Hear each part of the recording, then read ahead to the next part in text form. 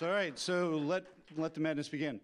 I'm Tom Greco, the G2 of the Training and Doctrine Command, and on behalf of Training and Doctrine Command, I'd like to say thank you to the Army Cyber Institute in West Point for sponsoring this edition of Mad Scientists as we look at cyber and cyber's impacts on the Army going out all the way to 2050. Um, it's appropriate that we be here as we do this. You know, West Point has a fantastic history. When we needed an, when we needed an institution that would help us engineer the future of America, we established West Point. 15 years ago, when terrorism struck us in the homeland, uh, we established the Terrorism Institute here at West Point to guide us. And now we have the Cyber Institute here at West Point.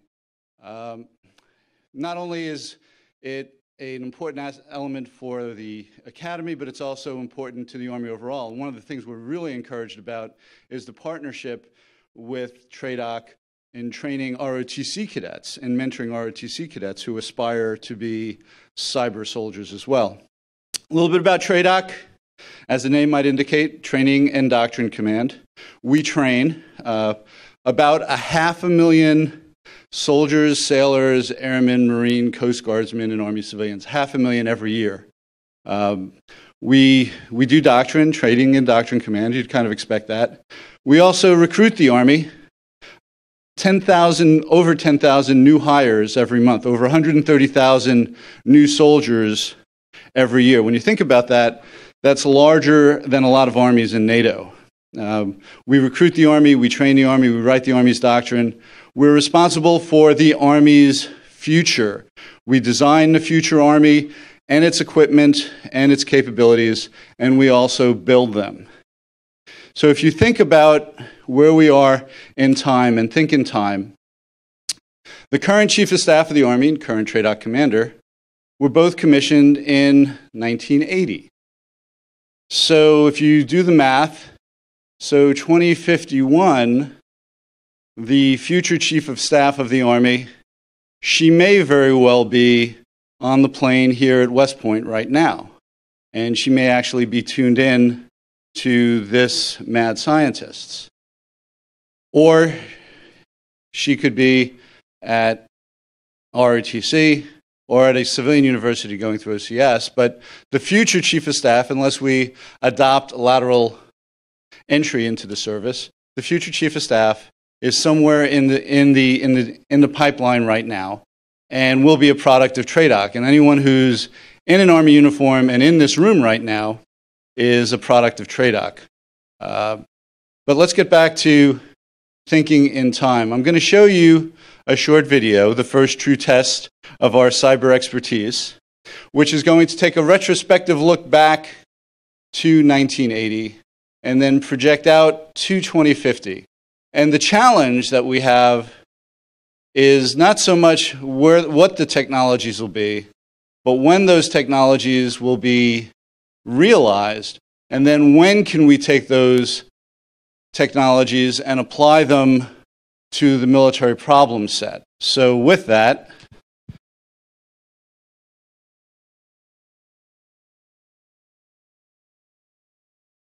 Nope.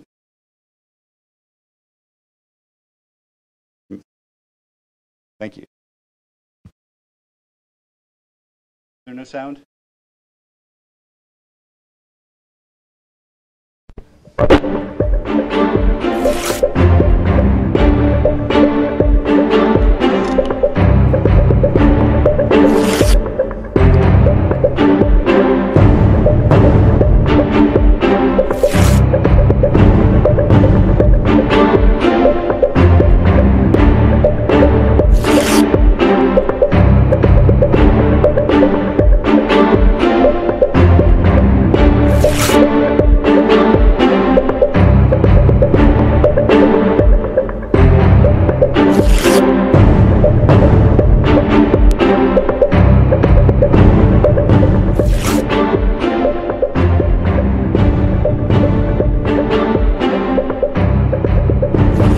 What do you consider the greatest threat the United States of America faces?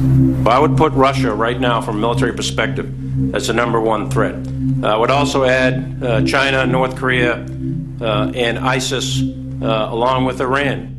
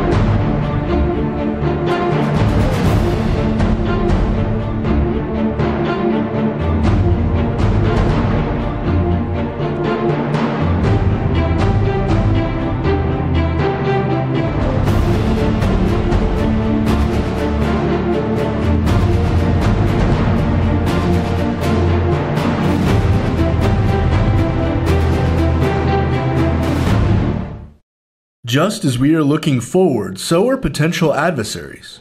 Russia is aggressively exploring remote combat operations. Here is a Russian simulation of their future combat unmanned ground vehicles operating in a contested urban environment.